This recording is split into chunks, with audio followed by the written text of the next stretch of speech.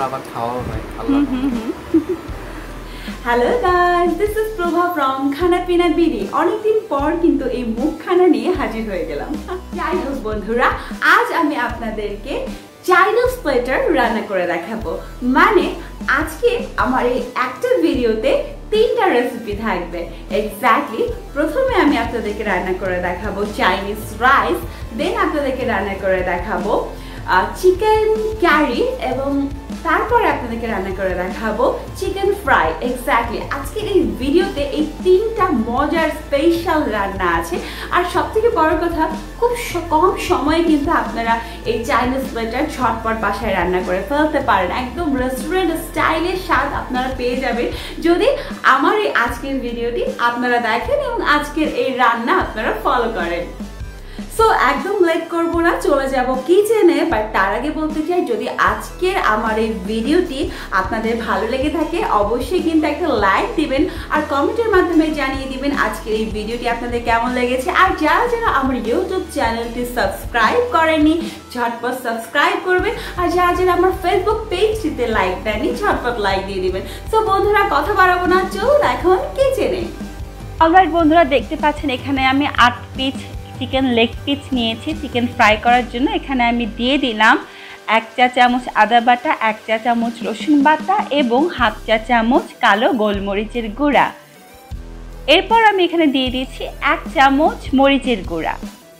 দিয়ে দিচ্ছি স্বাদ মতো লবণ এবং দিয়ে দিচ্ছি এক চা চামচ সয়া সস এখন এগুলো খুব ভালোভাবে সব একসাথে আমি মেখে নিচ্ছি। তারপর এটা আমি এক ঘণ্টা আলাদাভাবে রেখে দিব।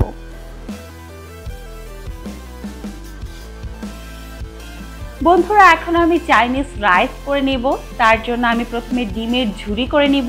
দেখতে পাচ্ছেন, আমি একটা পাত্রে তেল গরমে দিয়েছি। তেলটা আমার গরম হয়ে এসেছে। এখন আমি পাঁচটা ডিম এই তেলের মধ্যে ছেড়ে দিলাম। এখন এগুলো আমি একদম ঝুড়ি ঝুরি করে নিব মানে ঝুরঝুরি করে নিব ডিমের।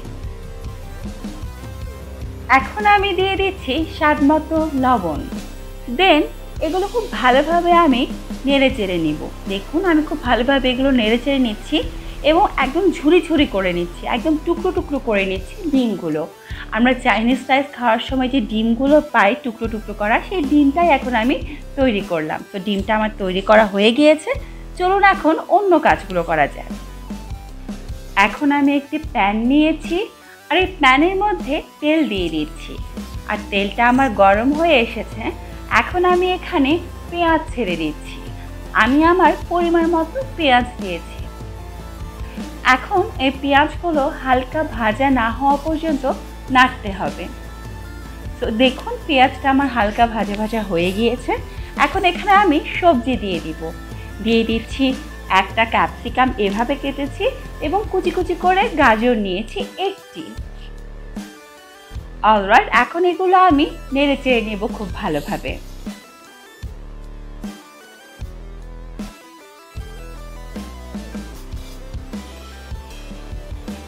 এখন আমি দিয়ে দিচ্ছি হাফ চা চামচ কালো গোলমরিচের গুঁড়া।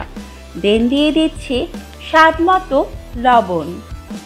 এখন দিয়ে দিচ্ছি এক চা চামচ সয়া সস এখন এগুলো খুব ভালোভাবে আমি মিক্স করে নিচ্ছি এবং ভালোভাবে নেড়ে চেড়ে নিচ্ছি।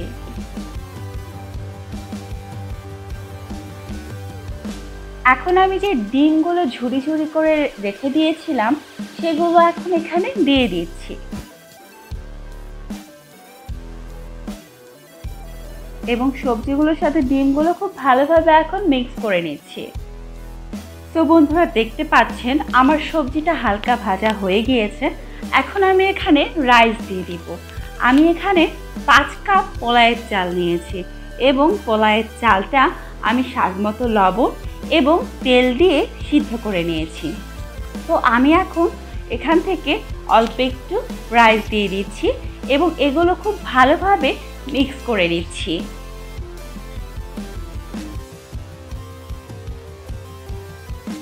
তো বন্ধুরা দেখতে পাচ্ছেন, আমি খুব ভালোভাবে সবজির সাথে রাইসগুলো মিক্স করে নিয়েছি। এখন আমি এখানে আরেকটু রাইস দিচ্ছি এবং এই রাইসগুলো খুব ভালোভাবে সবজিগুলোর সাথে মিক্স করে নিচ্ছি। সো আমার এই রাইসগুলো মিক্স করা হয়ে গিয়েছে। এখন বাকি রাইসগুলো আমি দিয়ে দিলাম এবং এগুলো খুব ভালোভাবে আমি মিক্স করে নিচ্ছি। অলরাইট বন্ধুরা, দেখতে পাচ্ছেন আমার মিক্স করা হয়ে গিয়েছে আর রাইসটাও কিন্তু হয়ে গিয়েছে। রাইট এখন অন্য কাজগুলো করি। এখানে আমি মুরগির বুকের মাংস নিয়েছি দুই কাপ এখানে দিয়ে দিলাম হাফ চা চামচ আদা বাটা এবং হাফ চা চামচ রসুন বাটা। দিয়ে দিচ্ছি হাফ চা চামচ কালো গোলমরিচের গুঁড়া। দেন দিয়ে দিলাম এক চা চামচ মরিচের গুঁড়া। দিয়ে দিলাম এক চা চামচ সয়া সস দিয়ে দিচ্ছি স্বাদ মতো লবণ। এখন এগুলো সব খুব ভালোভাবে একসাথে আমি মিক্স করে নিচ্ছি।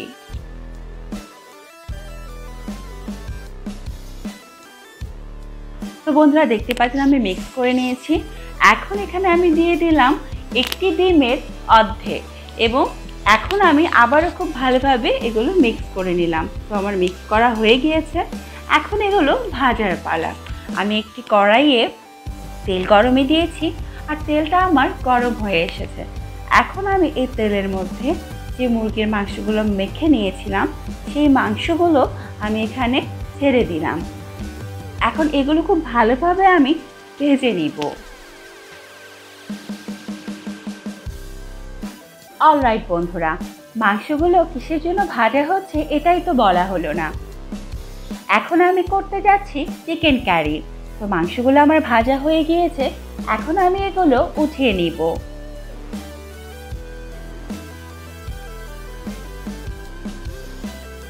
অলরাইট বন্ধুরা, মাংসগুলো আমি যে কড়াইয়ে ভেজে নিয়েছিলাম, সেই কড়াইয়ে কিন্তু আমি করতে যাচ্ছি চিকেন কারি তো এই কড়াইয়ের মধ্যে আমি আরও কিছু তেল দিয়ে দিলাম, আর তেলটা আমার গরম হয়ে এসেছে। এখন আমি এখানে দিয়ে দেব পেঁয়াজ কুচি। আর পেঁয়াজগুলো আমি এভাবে চার ভাগ করে কেটে নিয়েছি। তো এখন আমি পেঁয়াজগুলো দিয়ে দিলাম, আর পেঁয়াজগুলো এখন হালকাভাবে আমি ভেজে নেব।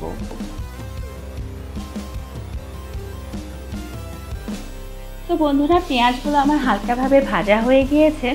এখন এখানে আমি দিয়ে দিয়েছি ক্যাপসিকাম। এখানে আমি একটি ক্যাপসিকাম নিয়েছি আর এভাবে কেটে নিয়েছি। তো এখন ক্যাপসিকামগুলো দিয়ে দিলাম। দেন দিয়ে দিচ্ছি গাজর। একটি গাজর আমি এখানে নিয়েছি আর এভাবে লম্বা করে কেটেছি। তো এখন এগুলো সব আমি খুব ভালোভাবে একটু নেড়ে চেড়ে নিব।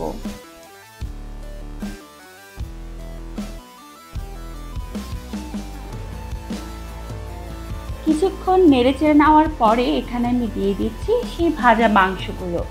দেন আবারও খুব ভালোভাবে এগুলো একটু নেড়ে চেড়ে নিচ্ছি।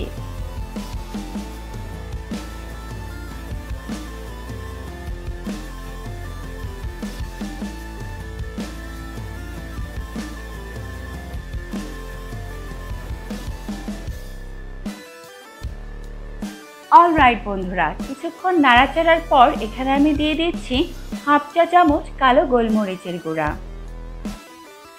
দিয়ে দিচ্ছি স্বাদ মতো লবণ। তারপরে দিয়ে দিচ্ছি এক চা চামচ মরিচের গুঁড়া। দেন দিয়ে দিচ্ছি এক চা চামচ সয়া সস তারপরে দিয়ে দিয়েছি তিন টেবিল চামচ টমেটো সস। এখন এগুলো খুব ভালোভাবে আমি মিক্স করে নিব এবং হালকাভাবে রান্না করে নিব।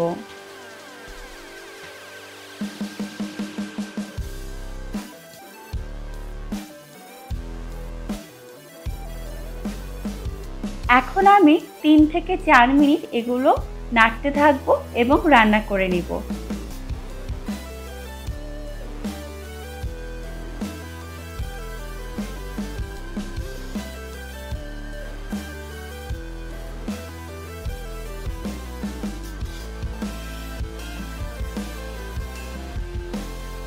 বন্ধুরা, দেখতেই পাচ্ছেন, হয়ে গিয়েছে আমার মজাদার চিকেন কারি তো এখন অন্য কাজ করা যাক। অল রাইট বন্ধুরা, আমি প্রথমেই যে চিকেন লেগ পিসগুলো মেখে নিয়েছিলাম, সেগুলোর কথা মনে আছে তো? এখন চিকেন ফ্রাই করার পালা। তো এখানে আমি দিয়ে দিচ্ছি দুই টেবিল চামচ বেসন। তারপরে দিয়ে দিচ্ছি দুই টেবিল চামচ কর্নফ্লাওয়ার দেন দিয়ে দিচ্ছি একটি ডিমের অর্ধেক। তারপরে এগুলো সব আমি খুব ভালোভাবে মিক্স করে নিচ্ছি।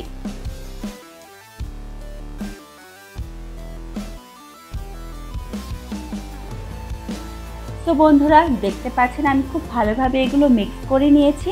এখন ভাজার পালা। আমি একটি কড়াইয়ে তেল গরমে দিয়েছি আর তেলটা আমার গরম হয়ে এসেছে। এখন আমি চিকেনগুলো এখানে ছেড়ে দিব। আমি প্রথমে তিনটা চিকেন ভেজে নিব।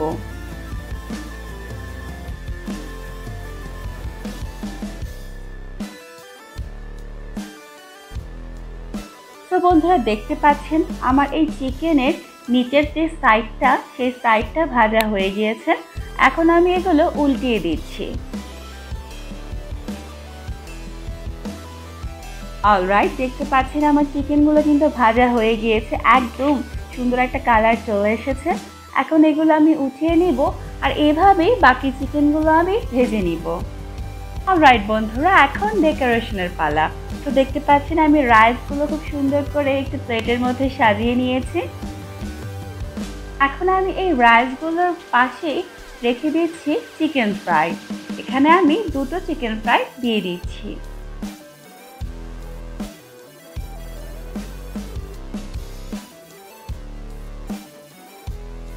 এখন দিয়ে দিচ্ছি মজাদার চিকেন কারি।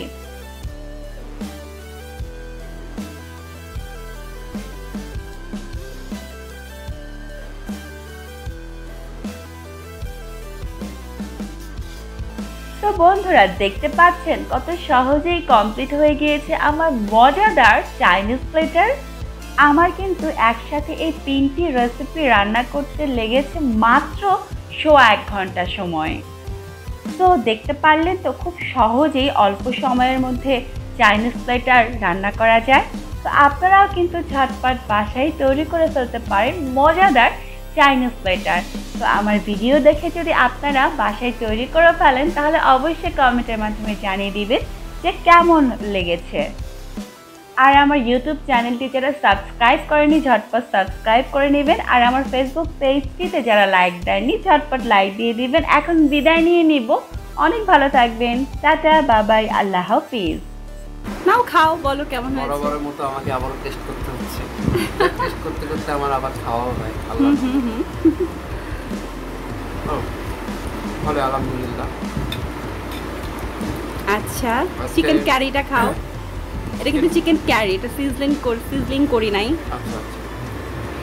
এটা একটু নতুনত্ব দেখতে পাচ্ছি। হ্যাঁ। টেস্টটা একটু অন্যরকম। সেটাই। আচ্ছা ইয়েটা খাও ফ্রাইটা খাও একটু। না আলহামদুলিল্লাহ ভালোই হয়েছে। আপনারা এটা টেস্ট করে তৈরি করতে পারেন। অবশ্যই। আলহামদুলিল্লাহ একবারে রেস্টুরেন্টের মতোই যাক আলহামদুলিল্লাহ। তো বন্ধুরা আপনারা কিন্তু বাসায় ঝটপট তৈরি করে ফেলতে এই মজাদার প্লেটার